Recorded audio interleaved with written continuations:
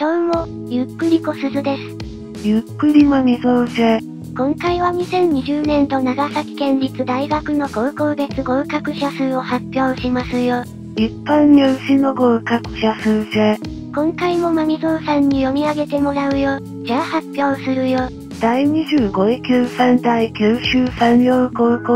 壱岐高校、純真女子高校、鎮西学院高校、大分豊府高校、竹岡大高校、第20位竹尾高校、島原高校、高架高校、第一高校、鹿屋高校、第16位八幡高校、北地区高校、伊万里高校、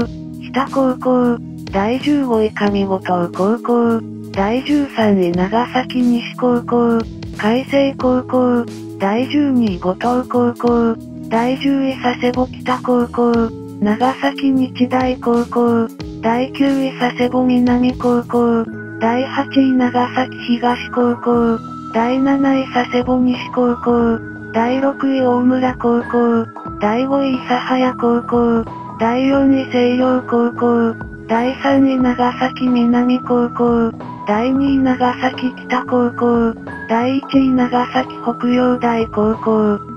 ここまでが長崎県立大学の合格上位高校になります。最後までご視聴、ありがとうございました。